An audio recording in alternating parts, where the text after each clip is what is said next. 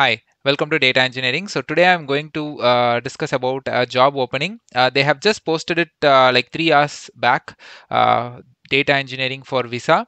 And uh, it's been like only four applicants now.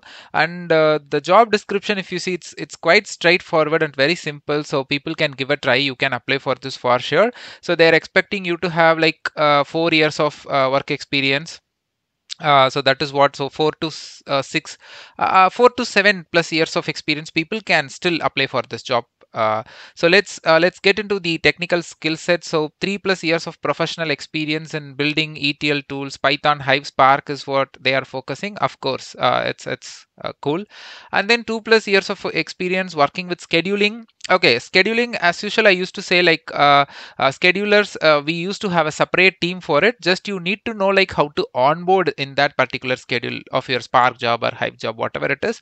Oozie or airflow. Like if you have a basic knowledge on it it's completely fine is what my understanding and then uh, hands-on experience of three plus years with hadoop ecosystems even you have two plus or one plus or, uh, or, or three years is completely fine you can still give a try so hadoop ecosystem means like again hdfs hive uh, pig, Oozie, Flume, the basic stuff. And then experience in writing SQL, of course, any data engineering job role, they used to ask for it. Linux, yeah, of course, we need to know.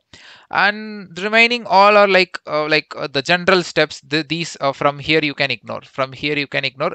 Ignore in the sense it's like optional one. So the main focus from the jd what i have seen is they're expecting you to know uh, some uh, python hive spark especially and basic knowledge on hadoop ecosystem that is repetitive again hive hdfs Sqoop oozie flume. And of course they are expecting you to have some knowledge on scheduling as well so the main thing you need to know Hive and Spark for sure, and then Python. That is what the end of day I can see from this JD. It's a very straightforward JD, so they're expecting four plus years of experience is completely good, and that too it's from Visa. So you can give a try. So only four applicants for now. So you can give a try.